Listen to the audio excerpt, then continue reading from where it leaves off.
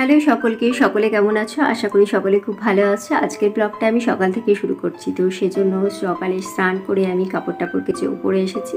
কাপড়গুলো ওপরে আমি মেলে দিলাম, মেলে নেওয়ার পরে আমি বালতিটাতে জল ভরে নেব। তো সেজন্য বালতিটা ধুয়ে নিই।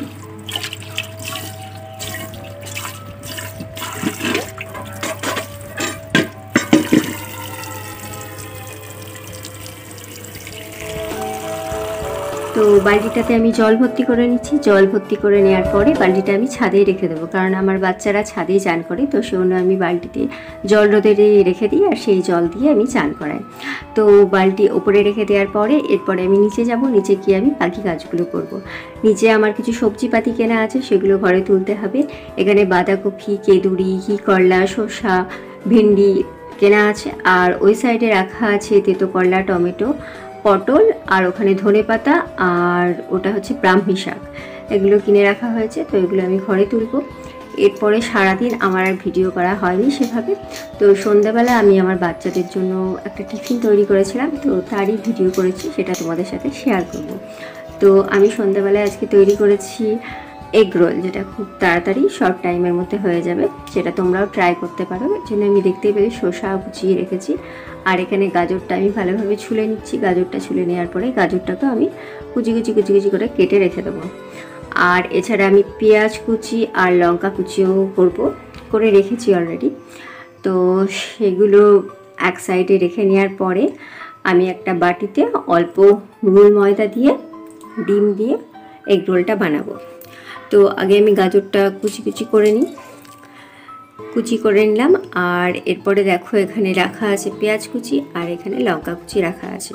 এবার বাটিতে আমি রুল ময়দা নিলাম, রুল ময়দা নেওয়ার পরে ওর মধ্যে আমি একটু নুন আর হলুদ দিয়ে নিলাম। এই যে নুন আর হলুদ দিয়ে নিলাম, এরপরে আমি একটা ডিম ফাটিয়ে ওর মধ্যে দিয়ে দেবো। তো ডিমটা দেওয়ার পরে আমি এর মধ্যে পেঁয়াজ কুচি আর অল্প একটু লঙ্কা কুচি দেব, দিয়ে ভালোভাবে এটাকে ফাটিয়ে নেব। তো আগে আমি একটু ফাটিয়ে নিলাম, তারপরে পেঁয়াজ কুচি আর লঙ্কা কুচিটা দিয়েছি। তো এরপরে পেঁয়াজ কুচি, লঙ্কা কুচি দিয়ে নিলাম, দিয়ে নেওয়ার পরে ওটাকে ভালোভাবে ফাটছি, কিন্তু সেভাবে নরম হচ্ছে না, একটু টাইট টাইট আছে। তো সেজন্য আমি আর একটু মধ্যে জল দিয়ে নিচ্ছি। জল দিলে পরে ওটা বেশ একটু নরম হয়ে যাবে। তো সেই জন্য একটু জল নিয়ে ভালোভাবে ফাটিয়ে নিলাম। এরপরে আমি একটা তাওয়া বসিয়েছি, আমার একটা লোহার ফ্রাই প্যান আছে। সেইটা বসিয়ে ওটা আগুনটা জ্বালাবো গ্যাসে। জ্বালানোর পরে ওর মধ্যে দু চামচ মতো সর্ষের তেল দেবো। সর্ষের তেলটা জাস্ট একটু গরম হয়ে যাবে। গরম হয়ে যাওয়ার পরে আমি ওই যে ব্যাটারটা তৈরি করেছি, সেটা তাওয়ার মধ্যে দিয়ে নেব। আর একটা চামচে করে ভালোভাবে ব্যাটারটাকে চারিদিকে ছড়িয়ে নেব। তো আমি ব্যাটার দিয়ে নিলাম। এরপরে চামচে করে চারিদিকে ভালোভাবে ছড়িয়ে নিলাম। এটা জাস্ট কিছুক্ষণ থাকবে এই দু মিনিট মতো। তাহলে নিচের দিকটা মোটামুটি হয়ে যাবে। নিচের দিকটা হয়ে যাওয়ার পরে খুন্তি দিয়ে একটু চেক করলে বোঝা যাবে যে হয়েছে। মানে এটা ওঠা, উঠতে আসবে। তো তারপরে আমি তখন উল্টে দেবো এটাকে। উল্টে দেওয়ার পরে অপর পিঠটা একটু খুন্তি দিয়ে চেপে চেপে ওটাকেও রান্না করার চেষ্টা করব। ওটা হয়ে যাওয়ার পরেই আমি এর মধ্যে বাকি যে জিনিসগুলো কুচিয়ে রেখেছিলাম, সেই সবজিগুলো এর মধ্যে দেবো। ওই শসা কুচি, পেঁয়াজ কুচি, টমেটো কুচি। না টমেটো তো কোচাইনি শসা কুচি, পেঁয়াজ কুচি, গাজর কুচি। এগুলো আমি এর মধ্যে দিয়ে নেব।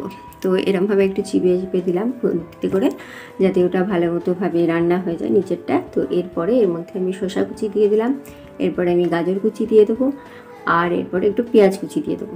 আর যদিও লঙ্কা কুচি দিলেও হতো, কিন্তু যেহেতু বাচ্চারা খাবে, অত ঝাল খেতে পারবে না, তো সেই জন্য আমি লঙ্কা কুচি আর দিইনি। আগে একবার দিয়েছিলাম, যেহেতু ব্যাটারটা তৈরি করেছিলাম, তখন দিয়েছিলাম।